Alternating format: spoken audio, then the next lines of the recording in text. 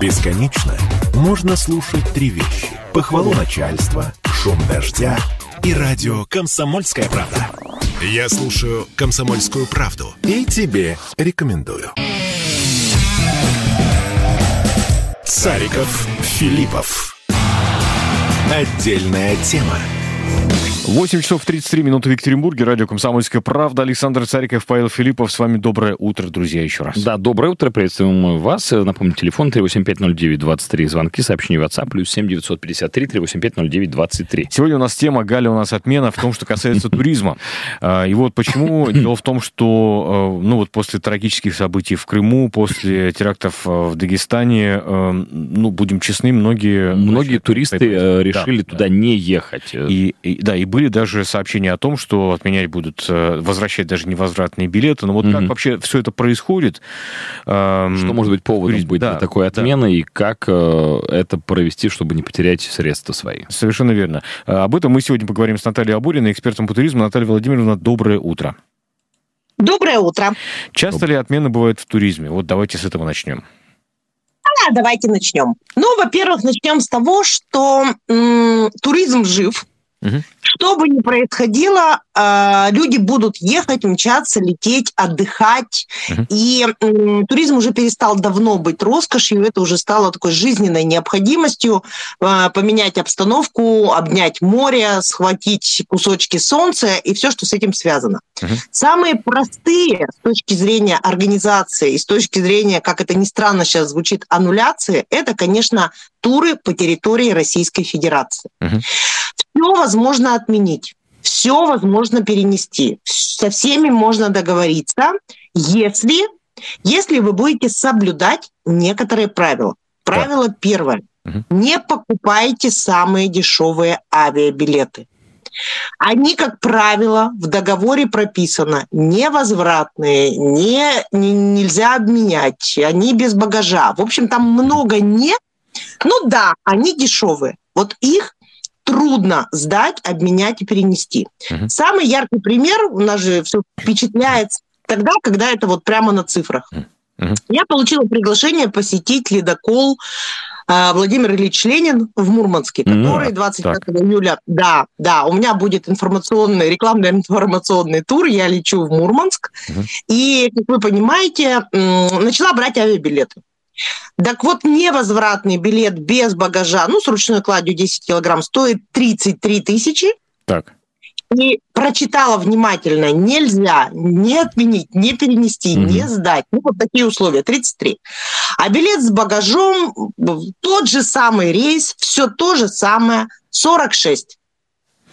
Как mm-hmm. вы думаете, какой я взяла билет? Где можно откатить? Конечно. Mm-hmm. Но разница существенная. Особенно ну, прилично, если да. люди, там, мама, папа, двое детей. Вот давайте представим 10 тысяч разница в стоимости, минуточку 40 тысяч. За эти деньги семья из четверых человек может в том же Крыму и в Дагестане отдохнуть неделю. Ну да. да. Поэтому вот есть э, определенные ограничения вашей свободы, когда вы берете вот эти самые билеты. Угу. Еще так себе, если вы их берете на завтра-послезавтра. Угу. Но опасно их брать по раннему бронированию. Вот сейчас самые дешевые билеты брать на август, ну, наверное, стоит подумать.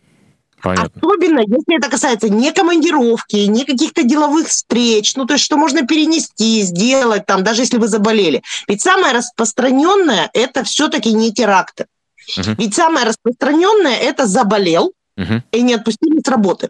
Вот если провести опрос наших слушателей, очень интересно, если кто нас слушает, напишите, вот по какой причине может сорваться ваш отпуск.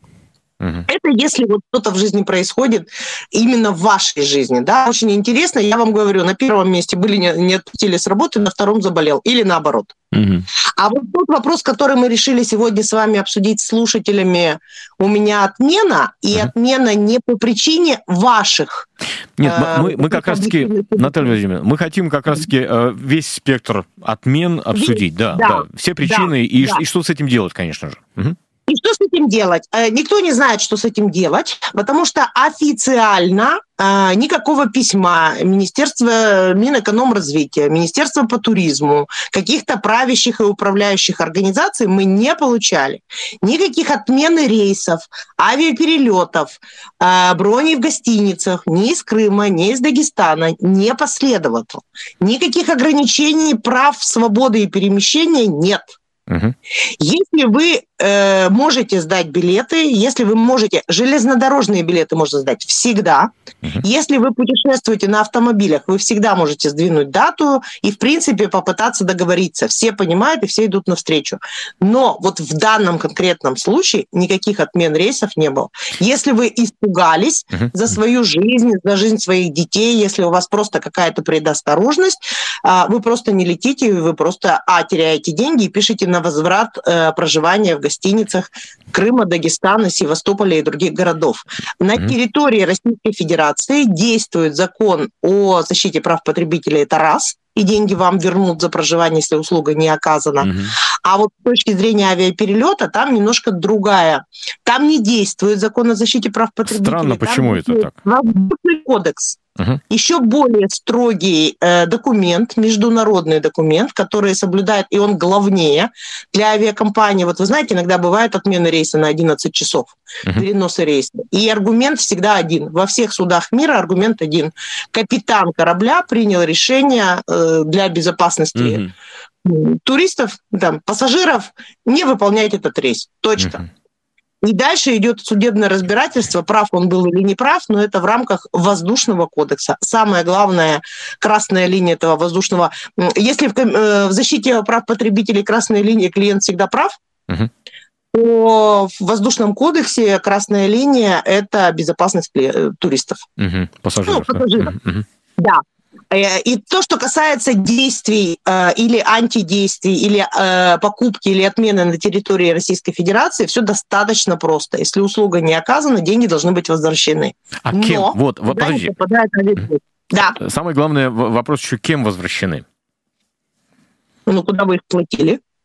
А вот давайте ну, представим... Да. Давайте, да, давайте цепочку всю эту угу. пройдем. Давай, например, да. вы купили в Elite Travel, купили путевку в Дагестан. Вы муж, бабушка и два внука. Угу. А, и вот происходит что-то, что вас напугало, остановило, и вы не летите. Первое. Мы смотрим, какой вы купили авиабилет. А вы купили у меня пакет. Вы купили у нас пакет, в нем было 5 авиабилетов и неделя проживания в каком-нибудь, ну, в какой-нибудь гостинице три звезды. Угу. Все это происходит, значит, на территории Российской Федерации. Рейс улетел. Это вы испугались, рейс улетел. Угу. И мы начинаем разбираться, это был чартерный рейс или это был регулярный рейс. Если это был регулярный рейс, и у вас куплены билеты по возвратному тарифу, вы подаете заявление о возврате средств или вам будет предложено перенос на другие даты, но билеты возвратные. Да, какое-то удержание франшизы будут, какие-то штрафы. Все зависит от того, у вас за час до вылета это произошло или за двое суток. Угу. За 24 часа можно все поменять. Гораздо интереснее ситуация, если вы, мы купили вам билеты на чартерный рейс. Угу. Когда туристы летят пакетным туром, там нет разделения авиабилет, проживание, питание. То есть вы купили пакет. Угу. Купили у компании Elite Travel. Мы несем перед вами ответственность за то, чтобы вернуть вам эти деньги. Когда у нас с вами конфликт, это одно правовое поле. Когда конфликт между мной и туроператором или авиакомпанией, которая этот пакет сформировал, это уже арбитражные вот эти вот все дела. И, в принципе, деньги вам должна вернуть я. Ну, деньги вы заплатили мне, деньги должна вернуть я. Так. А, но у меня этих денег нет, и я вам это докажу. Вы мне заплатили, через час деньги я распасовала между авиакомпаниями и туроператорами. uh Да, долгий процесс, да, не быстрый, да, ожидать того, что вот в такой стрессовой ситуации, в которую все а, а я не буду скрывать, у меня прям ступор был, когда я услышала эту новость. А, не ждите быстрого ответа, не топайте ногами, подождите, когда это все уляжется и сформируется, но в принципе все зависит от того, какие договора вы подписали. Первое, читайте, какие там билеты. Второе, читайте условия аннуляции тура и причину. А, ну, я там, конечно, не призываю попадать в больницу и приносить справку о госпитализации. Там тоже такие моменты есть. Но mm-hmm. вот в случае форс-мажора очень важно, чтобы эти рейсы были либо отменены, либо mm-hmm. было рекомендательное письмо э, там, Минэкономразвития, Министерства по туризму, где написано, россиянам не рекомендовано к посещению дальний, ну, данный регион до 1 августа. Э, Наталья Владимировна, вот, смотрите, у нас есть, есть сообщение. Доброе утро. Невозвратные билеты спокойно возвращаются в случае заболевания, при этом прикладывайте соответствующие справки, документы из медучреждения. Да. Например, родственница по болезни сдала невозвратный билет э, на поезд в кассу. Э, вот, удержали всего небольшую сумму на самолет. Такая же история, примеры есть. С уважением, Павел. Отличный комментарий, Павел, только это сегодня не в нашу тему.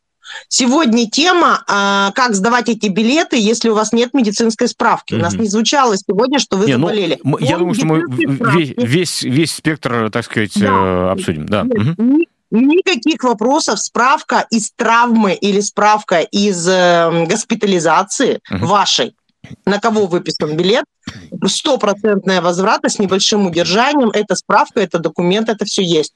Мы же тему-то сегодня все-таки заявили, что э, делать, если можете лететь, но у вас случился какой ну, испуг, ограничения и все остальное. Ну вот смотрите. у меня отмена. Да, насчет да. ограничений, все-таки хочу еще одну недавнюю историю вспомнить. Это потопы в Дубае. У меня есть э, знакомые, э, семья из пяти человек, которые купили туда, mm-hmm. собственно говоря, путевку и э, не смогли вылететь, потому что все отменилось. Ну да. Что происходит в таких ситуациях? Ну вот там место... Вот тут, да. вот тут все гораздо сложнее. Э, потоп. Эм, вышла из строя гостиница, э, значит, смыла часть пляжа. Угу. И все это происходит не на территории Российской Федерации. Вот угу. здесь, честно, гораздо все сложнее. Получить документы о фактически понесенных затратах Эмиратами, сколько убытков причинено тому или иному молу или той mm-hmm. или иной гостинице, и э, как влияет то, что у соседней гостиницы сорвало крышу, Угу. Вот у нас был такой случай, то есть вот тот знаменитый э, видеорепортаж, где вот на глазах у туристов они стоят у окна, и у них срывают у соседнего отеля крышу. Угу. А, они, а они в этом отеле. И они такие, срочно нас эвакуируйте, нам было страшно, у соседнего отеля слетела крыша. Ого. И вот как, как действовать вот в этой ситуации, какое отношение тот отель имеет к вашему отелю, а, почему мы должны вернуть деньги и вернуть вас на родину, кто заплатит за эти билеты. Вот в таких случаях все зависит от принятия вами решения о дальнейшем пребывании или, наоборот, не пребывании. Не переносить билеты, не э, быстро что-то делать вот в этой ситуации практически невозможно. Даже дозвониться невозможно, даже электронная почта дает перебои. И вот в этой ситуации очень часто людям приходится самим принимать какие-то экстренные решения. Очень часто оказывается, что оно не всегда правильно. Ну, например, начинается ураган, люди прыгают в самолет, берут 5 билетов mm-hmm. там по 50 тысяч, приезжают на родину и выкатывают нам счет на 250 тысяч. Mm-hmm. Типа, оплатите эти новые билеты, перенесите деньги оттуда вот сюда, и вот все в таком духе. Туда улетали флайт Дубай, обратно вернулись через Москву Эмирейтс. Вопрос, mm-hmm. мы тут при чем? Mm-hmm. Ну да, ну да. Да, эмоции. Эмоции очень часто преобладают, и очень важно, чтобы в эту ситуацию рядом с вами был человек, вот в нашем случае это турагент, и в штате компании есть э, внештатные психологи, которые О. вот в этот момент начинают связываться. Да, они, они не штатные, мы работаем с ними по договору, они начинают связываться с родственниками. Ну, давайте вот пример, далеко ходить не будем. Сем... Молодая семья, мама, папа и трехлетний ребенок улетели в Таиланд. Угу. Отдыхать в Таиланд, э, да, купили у нас путевку, и вот звонит мама э, главы семейства и говорит, они не выходят на связь. Так. Мы, значит, начинаем звонить, писать, они выходят на связь, говорим, а что же вы не сказали маме? Они сказали маме, что они уехали в Краснодарский край к родственникам, друзьям, а сами умотали в Таиланд. Что, что такое происходит внутри этой семьи? Почему мама не общается с сыном, и сын решил от нее это скрыть? Я не могу вам объяснить, но заложниками ситуации явилась я, когда звонит с одной стороны ревущая, значит, мать. Э, я понимаю, что был какой-то конфликт. Если честно, это что-то на уровне семейного какого-то бытового конфликта. Одни хлопнули дверью, умотали в Таиланд, вторая, значит, э, не может до них дозвониться, переживает за них и за внучку. Ну вот представляете, вот при чем тут турагентство? Ну да. Ну, да. Нет, это не фантастика. Вы знаете, это слово э, люди, давайте общаться, давайте говорить, все решаемо. Mm-hmm. То есть маму тут мог Кондратий хватить, с ребятами там mm-hmm. все что угодно могло произойти. Ну, ну людьми, Будьте. Uh-huh. Вот как это влияет на э, туризм? Вот как это влияет на мой бизнес? Да никак. Меня выхлестнуло на целый день, пока мы не нашли этих детей, пока мы с ними не связались, пока мы не нашли ну, представителя компании. Ну, согласитесь. Ну, да. А что, если бы они полетели дикарем? Ну вот ну, представьте да, ситуацию, ну, да. никто не знает, в каком они отеле, по секрету всему свету, видосики не выкладывают, соцсети не входят. Вот как быть в этой ситуации? Вот для этой матери это форс-мажор. Я не призываю всех наших э, слушателей оформлять свои туры, особенно в Крым и Дагестан, через туристические компании, ведь это еще и увлечение, увле, ну, увлеченное мероприятие. То есть очень многие люди походы в Крым mm-hmm. составляют, там э, какие-то... Альпинистов туда много ездит. Да, да, альпинизм, походы, сплавы, сплавы. А, в общем, э, относиться ко всем вот этим планируемым поездкам э, внимательно, все просчитывать, все делать. И на всякий случай, вот обратите э, внимание, любой договор с, э, ну, на оказание услуг с туристической компанией, знаю, с химчисткой, это, конечно, смешное сравнение, но там всегда есть пункт да, да. Форс-мажор. Да, случаи отмены поя- по, ну, поездки. Угу. Форс-мажор. Какие случаи попадают? Как действовать в этой ситуации? Вы думаете, кто-нибудь до конца дочитывает? Нет. Ну, Думаю, что У меня приятель один в свои договоры, вот э, где кусочек про форс-мажоры иногда вставляет, ну, там, понятно, после ковидов начали вставлять по, по поводу заболевания, он туда еще вставляет нашествие орков, э, зомби. Ну, потому что почему нет, да? Да, ну то есть там как а бы... Никто не читает. Никто да, не читает, никто, никто не читает, да. Да, да, да, да. Мы, я тоже слышала такое, я даже читала, мне показалось, что это такая, знаете, шутка-розыгрыш к 1 апреля, но это был февраль. Но реально а, одна из туристических компаний в Москве, она как бы вот, вот типа москвичи вообще ничего не читают. Типа москвичи все безграмотные, все уверены, что лучше заплатить адвокату, и он потом всех засудит, пересудит, mm-hmm. чем дочитать договор до конца. Сейчас э, турист, договор в туристической компании, утвержденный Роспотребнадзором, mm-hmm. э, состоит из 18 страниц. Mm-hmm. Из 18 Обалдеть. страниц. Редкая птица долетит до середины Днепра и дочитает договор до конца. Ну, извините, рекомендованный документ Роспотребнадзором проверенный, выверенный, прописано все, абсолютно Я... все. Наталья Владимировна, читать его начинает, когда да. все закончится. С вашего позволения, хотел бы вернуться к дубайской ситуации. Она, на самом деле, это просто одна из ситуаций, которая периодически возникает. Некое стихийное бедствие на месте прибытия. Угу. Смотрите, насколько я понимаю, ну вот, э, как вся цепочка выглядит. Покупаются до этого билеты, покупаются, ну там, допустим, чартерный рейс, э, оплачивается гостиница, оплачиваются какие-то еще там услуги. И вот на месте что-то случается. А какова цепочка цепочка вот всего этого отката? То есть э, я так понимаю, что ведь, э, ну, там, туристическая компания, наверное, рискует своими деньгами. а если это частный турист, mm-hmm. туризм, если человек сам оплатил все это, вот как здесь происходит? То есть причем та сторона просто не принимает, у них потоп, они не могут даже самолет посадить. Что происходит mm-hmm. в такой ситуации? Честно? Да. Не знаю. А каждая такая ситуация, она настолько индивидуальна. Mm. То есть если там есть вот у этих туристов а, дети, так. то первое, что вы должны сделать, вы должны поставить в известность МИД Российской Федерации. Не-не-не, мы, мы, еще, а, мы вот... еще обсуждаем ситуацию до того, как все мы уехали. Еще не выехали? Мы еще не а, выехали. Мы еще не выехали. Да. А, мы еще не выехали. А, я думала, мы прилетели, а там не принимают. Так, мы еще не выехали. А вот тут тоже не знаю. Тут каждый принимает для себя. Я знаю людей, которые настолько отчаянные, они настолько ждут какого-нибудь э, форс-мажора, чтобы mm-hmm. купить билеты за 6 тысяч да, рублей да, да. и умотать в один конец. Помните, лирическое, лирическое говорим... отступление небольшое. В, в Таиланде периодически случаются госперевороты. Ну, то есть там король да. сидит, э, никуда не девается, а там правительство меняется. Mm-hmm. И э, как бы всех туристов всего мира это останавливает от поездок в Таиланд, Но... например, кроме наших. Да? Есть такое? Да. Есть. Отличный пример. Кроме наших, они сидят на чемоданах и караулят, когда же там очередная розовая революция. Вы знаете, такое же самое вот нам рассказывали в Киргизии. Uh-huh. А, мы едем в горах, и нам гид рассказывает, говорит, а вы знаете, когда у нас всплеск туризма. Я говорю, конечно, знаю.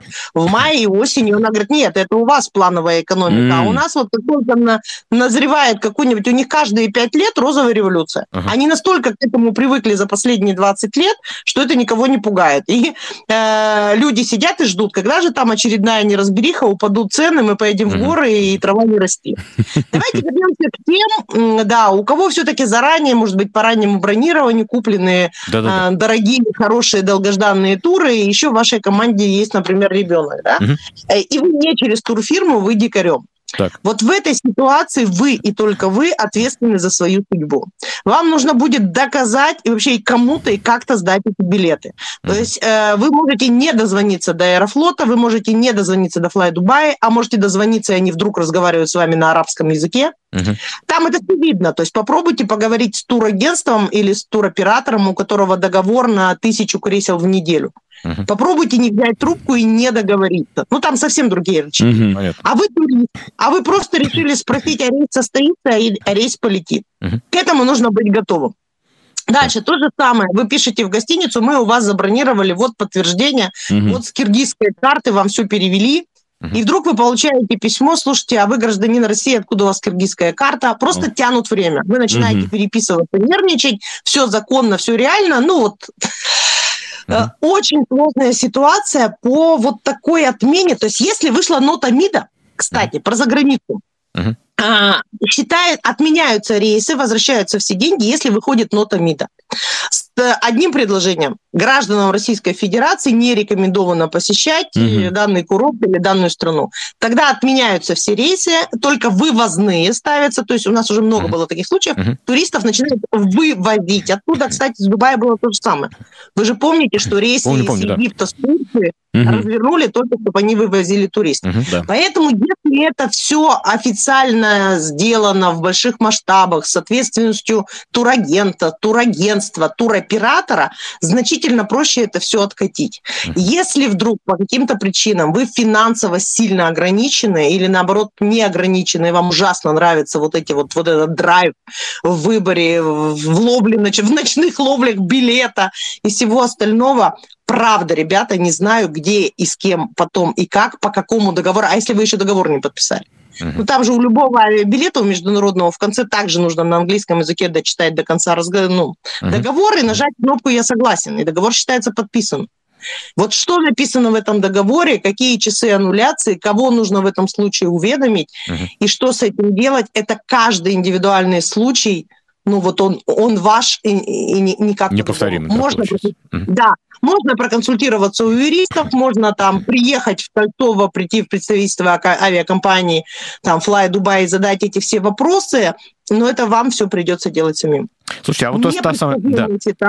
Не дай бог, чтобы она случалась в ваших да, та самая нота МИДа, которую вы упомянули, а куда ее, простите, э, девать? Вот она есть, вот в электронном виде, например. Что да? мне с ней делать? Все, все о ней написали угу. в средствах массовой информации. Да. Прислушаться. Вы сидите, никуда не летите. Сидите, никуда не летите и ждете, когда просто вот этот вот там операция или какое-то действие, или какие-то цунами, они просто закончатся, угу. а после угу. этого начинаете отматывать обратно вот в таком же порядке, писать в авиакомпанию угу. письмо, прикладывать ноту МИДа и говорить, э, вот отмена отмена рейса и получать от них ответ.